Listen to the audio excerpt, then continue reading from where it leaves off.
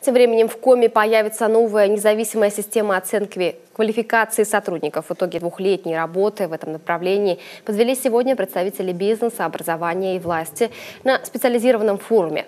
Главные элементы этой системы – это центры оценки квалификации. Пока на территории региона действует только один, такой столичный, в планах расширения географии Любой желающий, который хочет подтвердить свою квалификацию независимо, он проходит экзамен и попадает в реестр. Это российский реестр, где любой работодатель э, с любой точки России может посмотреть эти документы, и человек может устроиться на работу на территории всей Российской Федерации.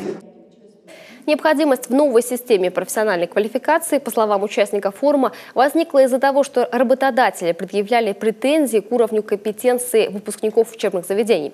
Теперь бизнес, образовательные учреждения будут совместно определять их профессиональный уровень.